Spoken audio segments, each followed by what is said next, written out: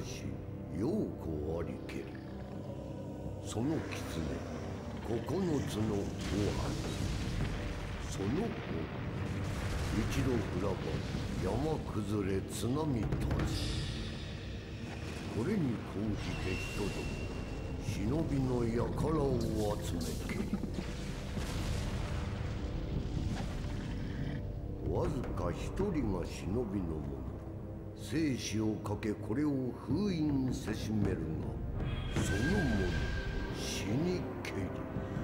その忍びの名を四代目ほかげと申す。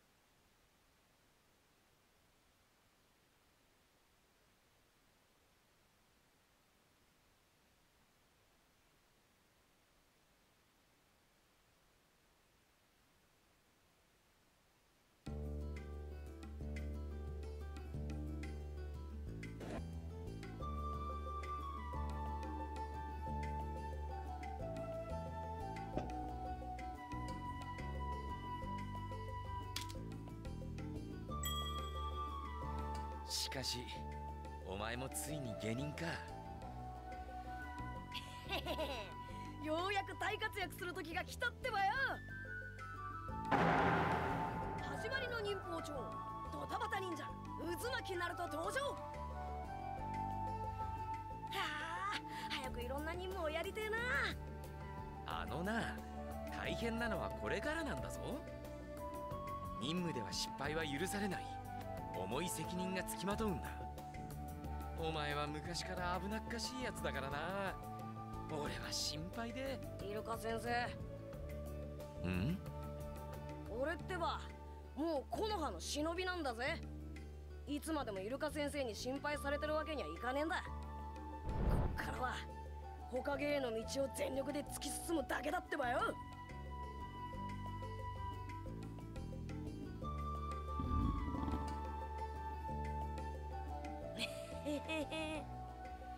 その前に腹ごしらえしとかないとね。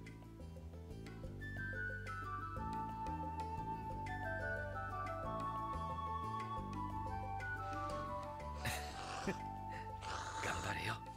ナルト。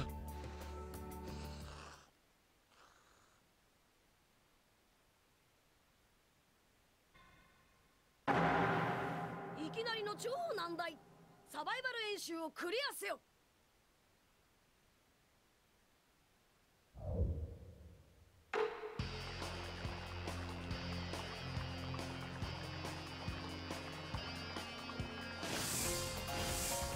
そんじゃ始めようぜ。まそうはしゃぐな。戦闘開始